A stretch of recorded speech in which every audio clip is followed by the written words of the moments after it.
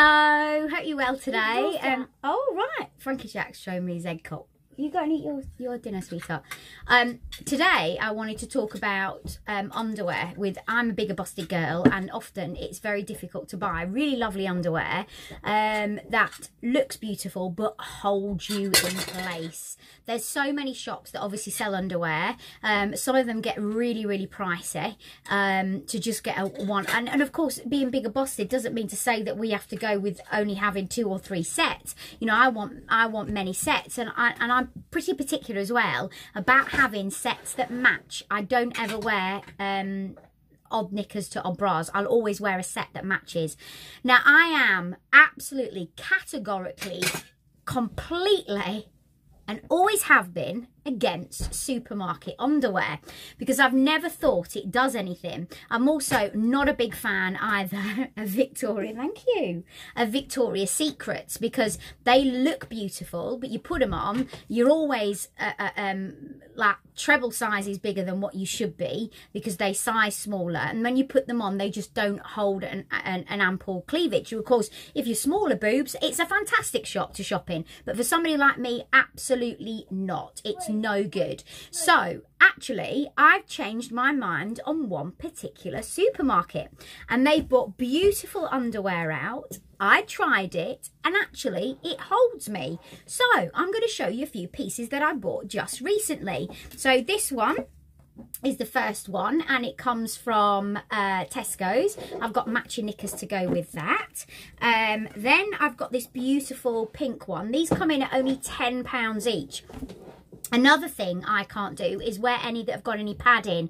Soon as it's got padding or it's that balconette, it lifts them up, and of course then they then they look like they're under my chin, and I look like I'm a porn star. so it's not good for me. Um, this one only ten pounds. Now the only thing is I am a girl that doesn't wear big knickers. I've always worn just g strings, so this is getting very difficult and very tricky round the stores. Wow, look at his outfit pow wow kapow. Um and it's very very difficult to find that really decent um you know pair of knickers that come with it. Because they're either great big mama knickers or um they're just I don't know, they're just not my kind of thing. Well, actually, these are coming up pretty, pretty. Uh, they're not G-strings. I can't find G-strings. I can't find my thongs in supermarkets, not unless I'm going for something that doesn't go with what I'm wearing. So if you're wearing nude and it's more of a t-shirt bra, then that's okay. Um, but it's it comes with, let me just tuck that, tuck that in. It comes with these really cute little knickers um, that have actually got lace on the back. So they look a little bit better um, than what the normal um, knicker does. And if you have a look at that, it's really, it's really quite pretty. That goes with the bra. I found the black bras really gorgeous. Um, and um, you can see on these ones I bought, and the knickers are only coming up £5, um, which I don't think's a bad price at all. So if you have a look at the back of these ones, can you see how they've got that lovely little bit of lace at the back? So it's first time ever in my entire life that I've ever worn a bigger knicker. However, um, because that's all that's out there. Even if you go to Marks and Spencer's now, um, they're tending not to do thongs. They're not doing strings. I've been down to TK Maxx, beautiful underwear down there. But as soon as I go anywhere near my size, um, it's not my size.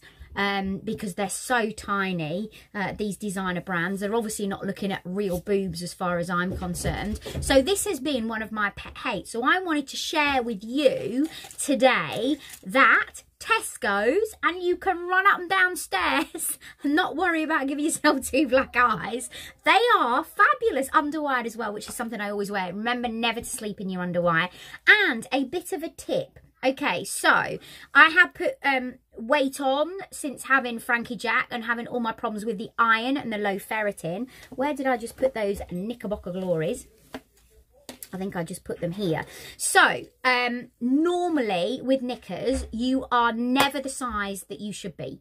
So, say you're a size 8, you go for a size 8, it will give you that muffin top because it will dig into you. So, this is a top tip of mine. So, what I would do is I would either go at one size or two sizes. So, normally when I was a size 10, I would go for a size 12. Um, at the moment, um, I sit roughly around about a size 12.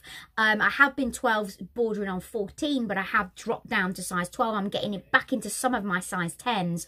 Um, but what I would always do is go up in your knicker size. So, uh, for instance, these knickers here, if I show you, they were only five pounds, but I've actually bought a size 14.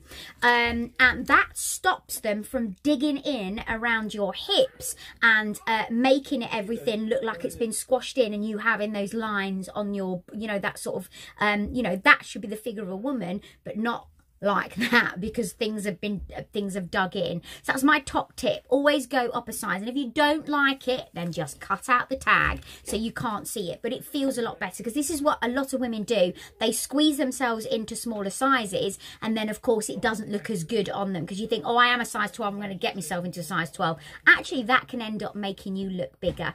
Um so that's my sort of top tip today. I am loving Tesco's underwear at the moment. Um I've done a massive massive clear out, which you've seen over the last couple of days of my bedroom. So what I've actually done is thrown a lot of my old underwear out. I mean, I've bought from elsewhere because I'm a big fan of Marks, but I've actually gone to Tesco's and I've seen a real difference in how they are making their bras for bigger busted women.